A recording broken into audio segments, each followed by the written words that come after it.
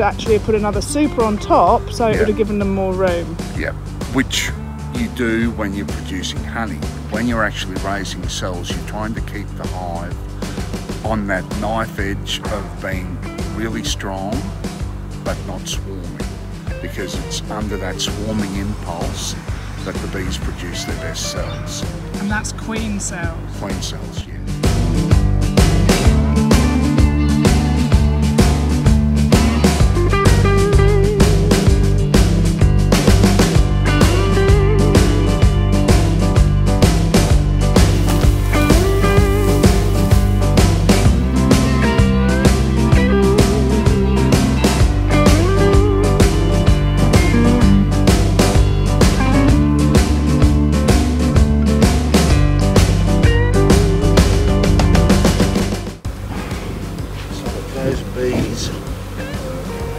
Actually run in. Oh, okay. Yeah, I've seen this happen. This is cool.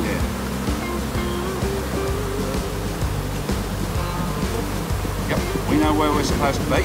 Awesome. So you've got the queen.